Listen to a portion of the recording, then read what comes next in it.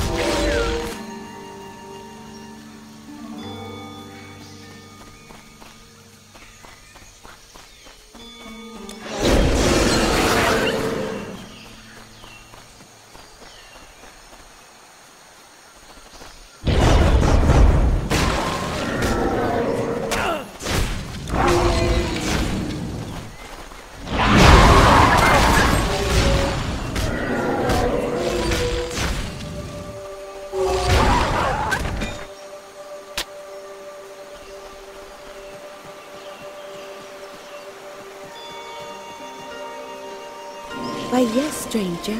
You are now on Qiyun Mountain. But how did you come here? It is not safe. Strange beasts are all around.